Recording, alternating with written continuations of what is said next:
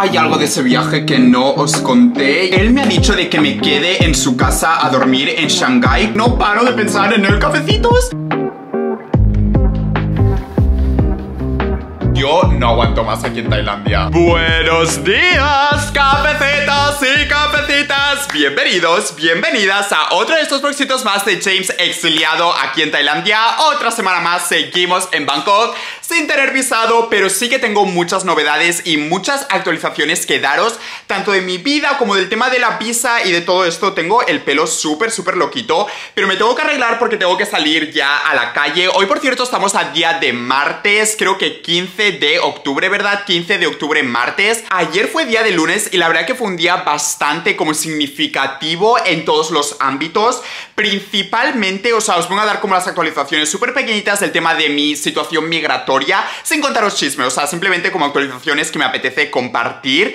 Principalmente, la abogada que estaba como ayudándome con el tema de mi agencia me ha dicho adiós, te quedas aquí solito porque ella es una abogada especializada en migración, en visados, pero el tema con la agencia ya, o sea, no ha llegado a ser un tema de visas porque ni siquiera ellos son capaces de como enviar los documentos para completar mi aplicación al visado. Entonces sí, ella los ha podido presionar, pero es cuestión de la agencia si quiere enviarlos o no, o si puede hacerlo o no puede hacerlo. Por lo que la abogada me ha dicho, yo no puedo hacer nada más. Si realmente tienes un problema con esta agencia y quieres cancelar el contrato o tienes ese tipo de problemas, te aconsejo que contrates a un abogado experto en leyes del entretenimiento, se puede ser de Corea obviamente, y eso es lo que hice, me puse como en contacto con un par de abogados que son como especialistas como en agencias de entretenimiento, en temas como de actores, actrices, modelos en Corea del Sur, y no os vais a creer cafecitos lo que me dijo este abogado ayer, en teoría no se vamos a llamar hoy, pero con lo que me dijo ayer me dejó un poquito loquito,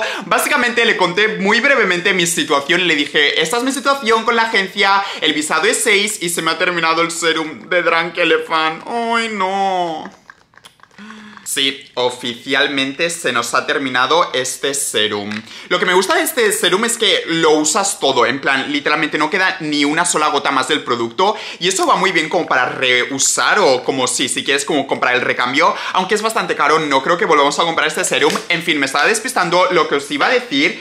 Ese abogado me dijo, ok, teniendo como tu perfil de que tienes como tantos seguidores y tienes como tantos contratos con marcas, lo mejor sería que tú mismo abrieras tu propia agencia de entretenimiento en Corea del Sur, cosa que a mí me parece una locura. Y me dijo que me estaba enfocando en un visado que realmente no parece ser para mí, porque este tipo de visas es como para gente que esporádicamente, o no esporádicamente, pero que trabaja en el entretenimiento. No sé cómo lo dijo, porque él me habló en inglés, entonces no sé cómo traducir las palabras, pero que básicamente teniendo las oportunidades que tengo yo de trabajar con marcas y que tienen como tanto dinero para gastar, es como que me sale más a cuenta conseguir el visado de inversor de negocio en Corea, abrir mi propia agencia y gestionar yo mismo como si fuera como autónomo en Corea.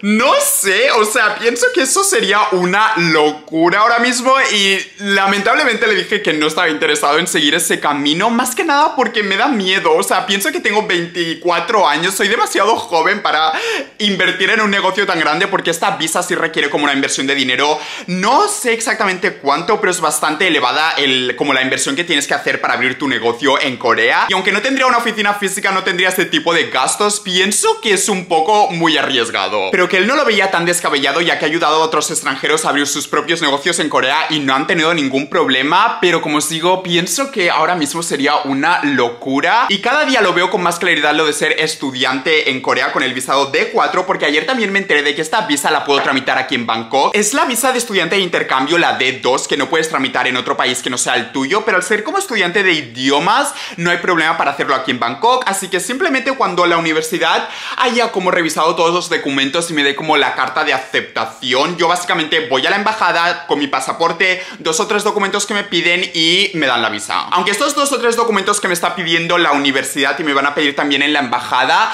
tenemos que como apostillar mi título del bachillerato que hice en España y tiene que ser apostillado en coreano o en inglés, por lo que eso es lo que me va a tomar más tiempo de conseguir, pero eso lo voy a hacer con un abogado, como primero hay que traducir el título al inglés y luego hay que poner como el apostillado, no sé si se llama así apostillado, apostillar un documento. Y como os digo, eso se tiene que hacer en España, pero ya estoy en contacto como con la escuela donde yo hice el bachillerato para obtener este título porque creo que lo he perdido. Así que calculo que esto me va a tomar como una semana, pero de todas maneras yo tengo como esa deadline, como esa fecha límite con la agencia del 31 de octubre para si ellos envían los documentos y puedo conseguir la E6, que vamos a ser sinceros, si no lo han hecho en tres meses, no lo van a hacer en dos semanas, por lo que muy, muy lamentablemente doy por perdida la visa E6. Pero pues eso es lo que estuve haciendo ayer, estuve bastante ocupado leyendo como mil páginas de internet, confiando demasiado en el chat GPT, no sé si debería confiar tanto como lo hago, pero no me queda otra solución y de hecho también una chica me abrió por Instagram diciendo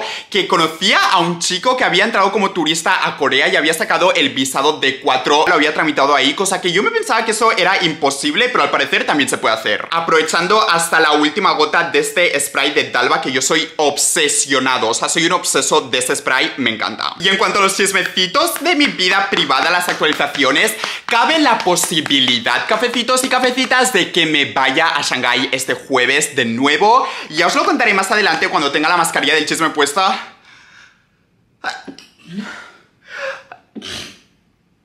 Oh my god. Disculparme por este estornudo, pero si tengo chismecito, estoy impaciente por contarlo con vosotros. Pero lo que sucede es que si acabo yendo a Shanghai necesito como ropa de otoño o algo como más abrigado, porque aquí solo tengo pantalones cortos, camisetas cortas y en Shanghai la última vez ya pasé un poco de frío, así que si voy esta semana hará incluso más frío. Así que hoy quizás nos acercamos como a un shopping mall o algo para encontrar algún outfitcito así aesthetic de otoño. Y os tengo que decir que también he tomado como una decisión de que voy a ser extremadamente positivo, en plan pase lo que pase sea bueno, sea malo, tengo que mantenerme positivo y si tengo que romantizar como mi vida como estudiante en Corea del Sur, vamos a romantizar nuestra vida de esa manera porque es que no me queda otra. Lo último que quiero hacer es estar como lamentándome y llorando porque no he obtenido la visa S6 y es que de hecho ayer, bueno, yo siempre estoy leyendo los mensajes en Instagram, pero una seguidora me dijo, James, o sea, yo disfrutaba muchísimo de tus vlogs, siempre eran como más positivos, más entretenidos, pero últimamente te sientes como muy estresado. Si eso se transmite a través de la pantalla, imaginaros cómo está mi cabecita de agobiada de que literalmente el corazón me va a 100.000 por hora a todas horas. Por eso os digo que me voy a mantener súper, súper positivo y obviamente no estaba en mis planes ser estudiante en Corea, pero es que es lo único, la vía más viable que veo para volver al país. Pero mirad lo que estaba viendo ahora mismo, el primer vlogcito de abril en España, así que voy a estar comiendo una cosa deliciosa que os voy a enseñar mientras termino su vlog. Y vosotros, cafecitos, disfrutar del vlog. Este es mi descubrimiento más cercano de la cocina tailandesa, aunque creo que esto no es como un plato típico tailandés. Por si alguien se pregunta, el precio es 250 bahts tailandeses, incluyendo el delivery. Y básicamente lo que es este plato es como un salmon mayo. O sea, sabéis que yo estaba obsesionado con el chicken mayo hasta que he descubierto que se puede hacer lo mismo, pero con el salmón. Y así lo veis, como por arriba está como un poquito el salmón cocinado, pero por dentro hay trozos como de salmón sashimi. Súper, súper rico, en plan, la textura con el arroz queda delicioso. ¡Qué delicia es esta! Espero que se esté enfocando. Voy a quedar en el hotel o quizás voy a salir. Por fin voy a ir a Mercadona y quedar con mi amiga para ir a un café. Es otro nivel, de verdad. Así es nuestro desayuno. Por fin, un poco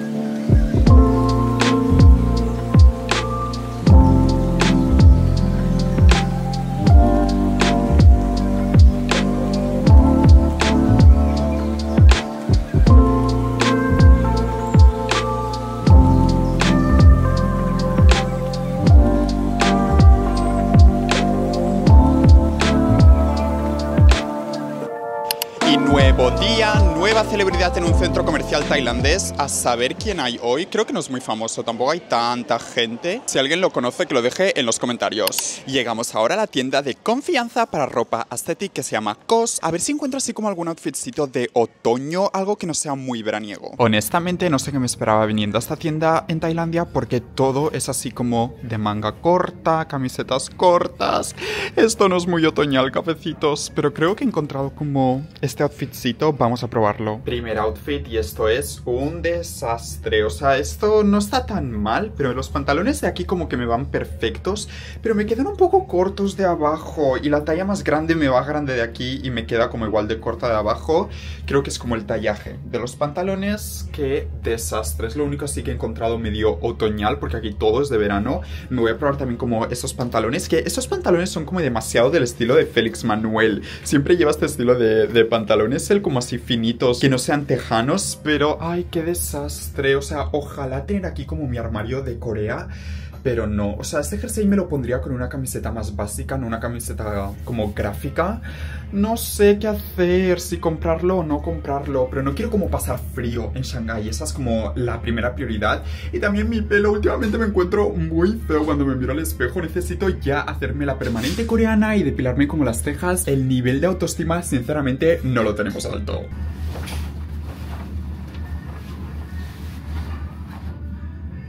Pero, ¿por qué me queda tan mal la ropa? No entiendo nada. Tengo como el cuerpecito de un fideo, ¿me entendéis? Entonces todo o me va grande o me va corto. No sé, se me ve súper rara esta ropa. todo me va grande.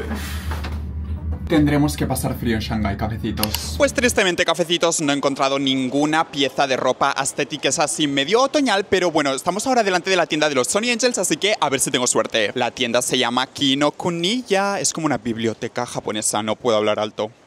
Mirar todo lo que tienen de Ghibli aquí. No sé por qué fuimos a Japón, si aquí lo tienen también, aunque más caro supongo. Tienen que poner este cartel aquí, Sony Angel, not available. No está disponible los Sony Angels, pero mirar cuántos hay por aquí. Esto es como mi proyecto futuro en mi próximo apartamento. 100% voy a crear como una especie de estantería aquí con toda mi colección. Pequeña actualización, cafecitos. Estoy de vuelta en el apartamento y os tengo que contar algo súper fuerte. En plan, os vais a quedar loquitos, tan loquitos como me he quedado yo con toda la situación. Me estoy poniendo la mascarilla del chisme porque hacía tiempo, hacía tiempo que nos contaba uno de estos chismecitos de mi vida amorosa. Más que nada porque hasta hace poco mi vida amorosa era, estaba estancada, era inexistente. Esperar que me voy a hacer los cortecitos. Tengo también aquí mi batido tailandés de fresa y yogur, que esto cuesta solo 100 bahts y es delicioso, te lo entregan gratis a domicilio. Y antes de que saltemos todos juntos a las conclusiones, escucharme ni que sea como 5 minutos porque hay como unas razones. Básicamente, como sabéis, hace como una semana, dos semanas, un par de semanas yo fui de viaje a Shanghái, me encontré con mi amiguito Manuel, lo enseñé en YouTube, todo fue genial. Hay algo de ese viaje que no os conté y es que conocí a un chico, o sea, a ver, espera, o sea, os doy los detalles porque no lo conocí así como con intenciones. Si visteis el blog, visteis cómo la gente literalmente en China se te acerca a pedirte como el WeChat, las redes sociales chinas. Yo no tenía WeChat, no tenía redes sociales chinas, por si alguien no lo sabía. WeChat es como una especie de mezcla entre WhatsApp y Instagram, o sea, sí lo usan para comunicarse como usamos nosotros WhatsApp, pero también tiene la opción de publicar lo que ellos llaman momentos, como si fuera Instagram, pues subes una foto, o sea, en China no tienen ni Instagram, ni TikTok, ni redes sociales extranjeras, por eso ellos usan esto, y es muy común que se te acerquen en la calle y te pidan como, ay, ¿cuál es tu WeChat?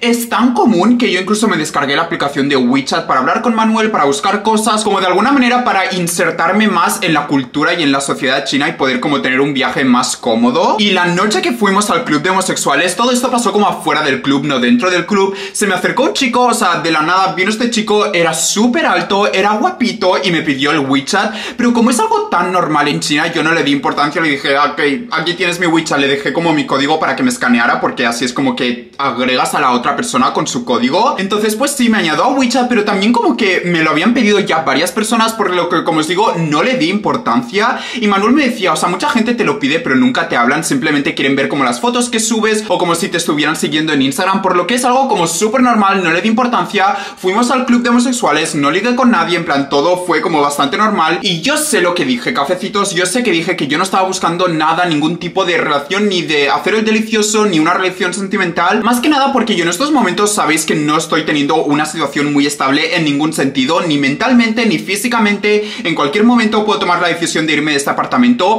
por lo que yo no estoy buscando una relación, ni estaba buscando de encontrarme con ningún chico. Y pues la noche siguió, el viaje continuó y yo me lo pasé súper bien con Manuel, jiji, jaja, nos volvimos al hotel, cada uno a su casa, a dormir al día siguiente, todo bien, lo visteis.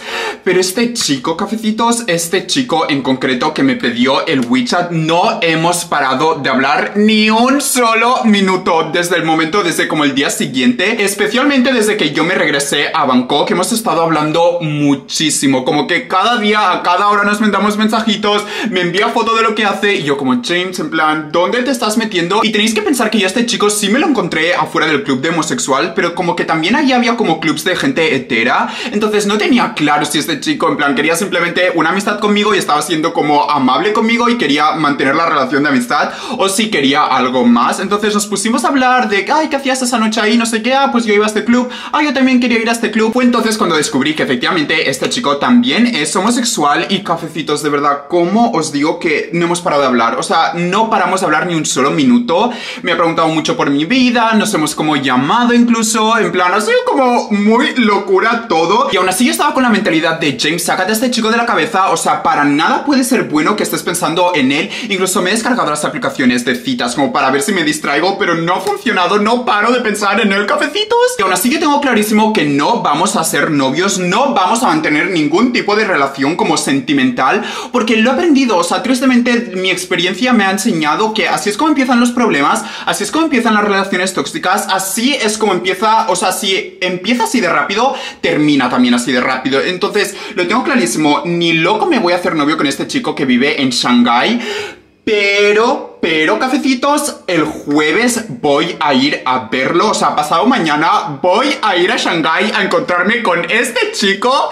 Es una locura, es una locura, pero si os lo paráis a pensar tampoco es tan locura, o sea, simplemente somos dos chicos que nos hemos conocido, se han gustado el uno al otro, nos sentimos atraídos. Y yo ahora mismo estoy en una situación de tener 25 años y me puedo permitir ir a Shanghái dos días, tres días para encontrarme con él y volver a Bangkok sin problema. Entonces tampoco es tan locura, o sea, depende depende de cómo lo miras, es más locura o es menos locura. Yo lo estaba hablando con quien lo he tenido que hablar mis amistades, incluido Manuel, y Manuel me ha ayudado como a investigarlo, a hacer como una especie de stalkeamiento en sus redes sociales chinas, porque este chico no tiene Instagram, no tiene redes sociales extranjeras, y Manuel al principio me decía una cosa que tiene como mucha razón, me dijo, James, ¿lo has conocido en el club gay? O sea, fuera del club gay, lo más probable es que este chico cada semana está ahí pidiendo el WeChat de otros chicos, así que vamos a investigarlo, vamos a ver a qué tipo de gente sigue qué fotos publican sus redes sociales. Lo hemos hecho, lo hemos investigado y ha pasado el filtro. No hay ninguna red flag, no sube nada extraño, no se le ve como muy hombreriego. Y Manuel como que sabe este tipo de chicos qué perfil tienen, en plan los que están como siempre ligando en el club gay. Y como os digo, hemos llegado a la conclusión de que él no tiene ninguna red flag, por lo que sí se le ve como un chico súper honesto y por lo poco, bueno, por poco tampoco. Y por lo que hemos estado hablando él y yo, o sea, creo que sí tiene buenas intenciones y pienso que él también tiene súper claro que no vamos a ser novios. Pero sí que hay una cosita un poquito loca. Él me ha dicho de que me quede en su casa a dormir en Shanghái, cosa que yo aquí le he frenado los pies, o sea, le he dicho, chico, no, o sea, yo voy a ir a Shanghái, me voy a coger el hotel, seguramente el mismo hotel donde estuve la última vez, yo voy a descubrir como sitios aesthetics que me encanta hacer esas cosas. Y si quieres nos podemos encontrar, tenemos como un par de citas, pero quiero dejar también como claro, me quiero como autoconvencer de que no solamente voy a Shanghái a ver a este chico, porque si no ahí es cuando yo me obsesionaría y empezarían los problemas. Así que cafecitos, vamos a ir a Shanghái con la cabeza, con las ideas en la cabeza muy claras. Simplemente nos vamos a encontrar, vamos a tener unas citas, vamos a ver cómo evoluciona, teniendo súper claro que no va a ir como más allá de esas citas que vamos a tener. Él ya me ha empezado a decir que a finales de mes puede venir a Corea o al mes siguiente, si yo consigo la visa, en plan, él puede venir a Corea.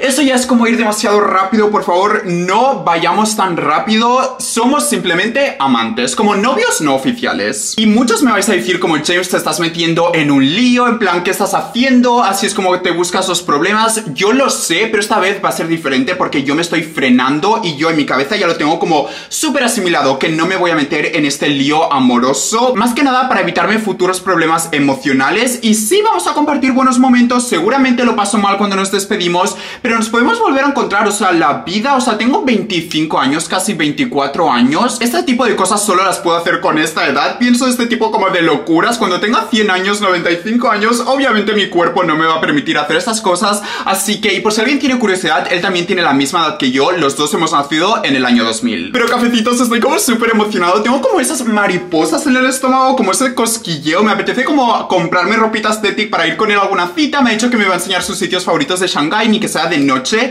porque él como que trabaja hasta las 4, hasta las 6 de la tarde. Entonces, como os digo, vamos a ir, vamos a explorar y también nos vamos a encontrar con él. Y honestamente, de vida solo hay una, solo se vive una vez y la vida, o sea, sin locuras, no es tan emocionante. En plan, es lo emocionante de la vida, meterse en estas locuras y ver cómo tu mente funciona y ver cómo sales de las locuras. Aunque repito, como os digo, no voy a dejar que me enamore y el momento que yo vea que esto va más como que empezamos a jugar con sentimientos, vamos a cortar de raíz el problema. Y aparte, que él viviendo en Shanghai y yo, si consigo la visa de Corea viviendo en Corea, pienso que no, es que de ninguna manera una relación a distancia sería como lo adecuado, ni en esa situación, ni en ninguna otra situación. Y por ejemplo, él me estaba diciendo como te voy a venir a recoger al aeropuerto, no te preocupes, te vas a encontrar conmigo, y yo ya le he dicho que también que no, o sea, vamos a frenar, en plan, tú y yo no somos novios, no somos como, ni lo vamos a hacer, por lo que, como os digo, vamos a ir los cafecitos y James a descubrir sitios aesthetics de Shanghai, y por la noche, por la tarde-noche, nos encontraremos con él, obviamente eso no lo voy a grabar. Pero sí, estamos como emocionados, o sea, ni que sea como una relación de amantes, me siento como orgulloso de volver a vivir como esta emoción. Pero en fin, me voy a quitar ya la mascarilla del chisme, nos terminamos este smoothie y nos vamos a dormir. ¡Feliz noche, cafecitos!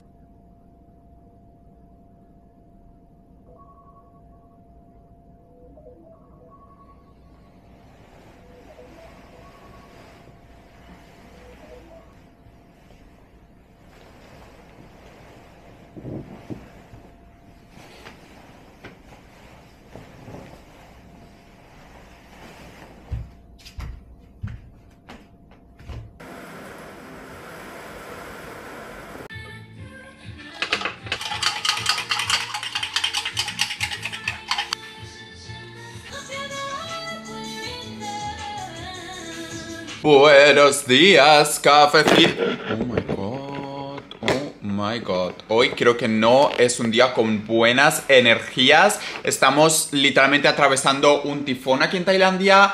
Lo he dicho varias veces, pero es que verano en Tailandia hasta... Oh, oh my god, el rayo. Oh my god. Eso os decía, si alguien viene a Tailandia como en verano hasta noviembre, diciembre, en diciembre creo que sí hace buen tiempo, tened mucho cuidado con las lluvias, con los tifones, realmente no se aprovecha el país en mi opinión, yo que he estado aquí en diciembre se aprovecha muchísimo más con el buen tiempo. Y pienso que esto tampoco me ayuda a mí a ser como positivo y salir a la calle y hacer planes, ayer os dije que iba a adoptar como una mentalidad súper positiva con todo esto que me está pasando de la visa, pero hoy me he levantado y lo veo todo como súper oscuro, más que nada porque ayer estuve haciendo FaceTime con la cafecita Nayara, ¿quién se acuerda de ella? Porque ella va a regresar a Corea para visitarnos y eso como para unos días de viaje simplemente. Y le estaba contando como todo el chisme de la agencia, en plan sin filtros, sin como cortar nada, completamente la historia y se quedó alucinada y me dijo, no James, en plan esto... No, no vamos a decir que te han estafado, pero literalmente te han hecho el lío, en plan, o sea, han jugado contigo, han hecho lo que han querido y es que...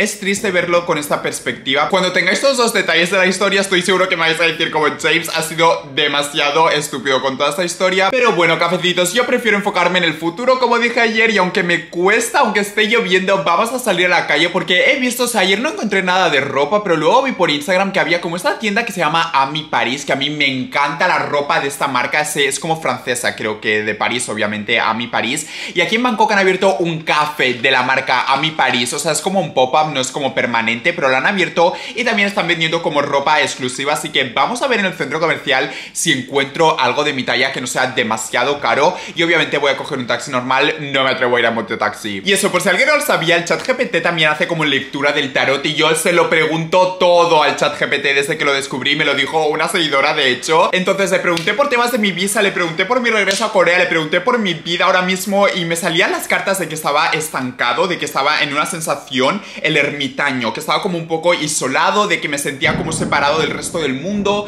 que estaba en una etapa de transiciones, de reflexionar mucho, pero lo bueno es que la carta final era positiva, era como el sol, el mundo, en plan la rueda de la fortuna, creo que se llama esa carta, en plan que vienen cosas buenas en el próximo mes, pero estoy como desesperado esperando que ya pasen estos días y me pueda regresar a Corea porque es que yo no aguanto más aquí en Tailandia. En fin, cafecitos, dejarme que ponga un par de lavadoras. He descubierto un producto, o sea, ahora os voy a dar el consejo de las lavadoras. Este producto, cafecitos, el Vanish Oxy Action. O sea, es el producto de toda la vida, no es nada nuevo, pero yo jamás lo había usado, y menos aquí en Bangkok, para las toallas y para todo eso. No sabéis lo limpias que quedan las toallas y también ayer estuve lavando como la manta esa del sofá y ha quedado súper, súper limpia. En la pantalla creo que no se aprecia. Tengo aquí como toda mi ropa tendida porque afuera si la pongo como que se ensucia con la lluvia, pero sí, queda súper limpia la ropa. Así que os decía, voy a poner un par de lavadoras más y nos vamos afuera. Hemos llegado, cafecitos. Mirad qué adorable se ve esto. Es como un café de Francia,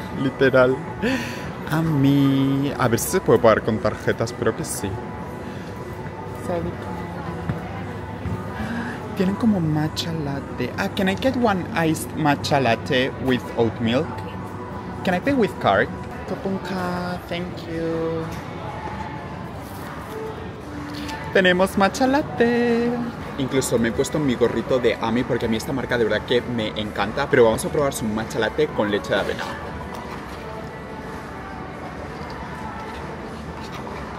Mm, está rico.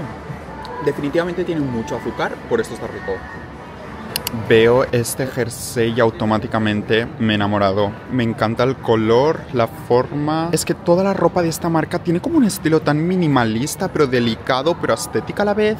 También hay como este tipo de cardigan, aunque ya tengo cardigans, así que mejor algo de este estilo. Usualmente iría por colores así como más beige, como los colores que suelo llevar yo siempre, pero creo que tengo que salir de la zona de confort. ¿Qué nos parece este outfitcito cafecitos? Obviamente los pantalones me van no gigantes, o sea, extremadamente grandes, yo no entiendo, o sea, algún día encontraré ropa de mi talla, pero por ahora no. Pero ¿qué os parece el jersey? El jersey es perfecto, esto es como la talla S y sí que me va como un poquito justo, pero esto cafecitos al ser como de lana se va como alargando con el tiempo, entonces creo que mejor me voy a coger la S, la M como que me va demasiado grande, o sea, no extremadamente grande, pero prefiero cogerme la S. ¿Qué opinamos? Cafecitos, pues como habéis visto ya tenemos outfitcito aesthetic para encontrarme con el chico de Shanghai, que Dios mío, la aventura que se nos viene encima. Lo he estado recapacitando, lo he estado meditando y realmente no le hacemos daño a nadie. Simplemente somos dos chicos de 24 años que se juntan porque se han gustado.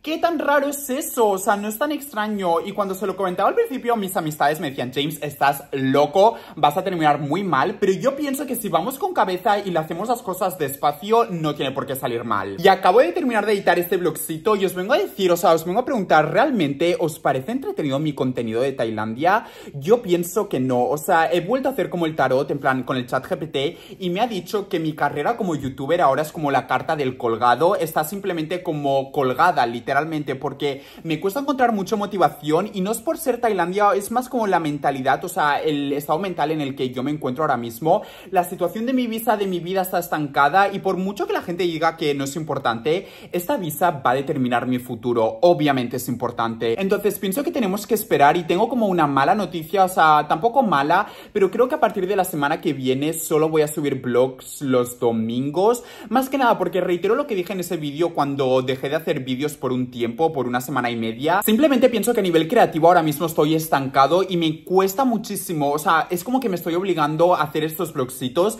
y el que acabo de editar a mí personalmente, o sea, no se me ha hecho nada entretenido y si a mí no me parecen entretenidos, he estado pensando, James, no los subas, ya espérate al domingo y haz algo como más interesante, pero ahora que ya está editado, pues obviamente lo voy a subir, pero sí, es como que estamos pasando por una etapa de reflexiones, de dudas, de cuestionarme a mí mismo muy intensa. Obviamente vosotros y vosotras sois espectadores, así que ya me decís en los comentarios qué os parece, pero gracias por aguantar conmigo todos estos meses que han sido muy largos de contenido en Tailandia.